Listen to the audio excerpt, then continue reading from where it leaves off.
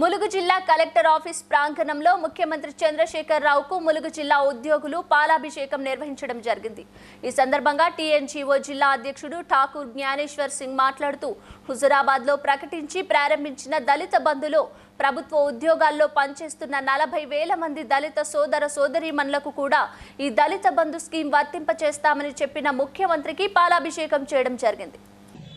మామిల రాజేంద్ర గారు ఆదేశాల మేరకు ఈరోజు కలెక్టర్ ఆఫీస్ ఆవరణంలో శ్రీ గౌరవనీయులైన ముఖ్యమంత్రి గారు కల్వకుంట్ల శ్రీ చంద్రశేఖరరావు గారికి ఆదేశాల మేరకు వాళ్ళ సూచనల మేరకు ఈరోజు ములుగు జిల్లా టీఎన్జిఓస్ పక్షాన ములుగు జిల్లా పక్షాన ములుగు జిల్లా టీఎన్జిఓస్ పక్షాన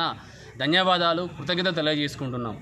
Please like and share subscribe to BCN Telugu news please like share and subscribe to BCN Telugu news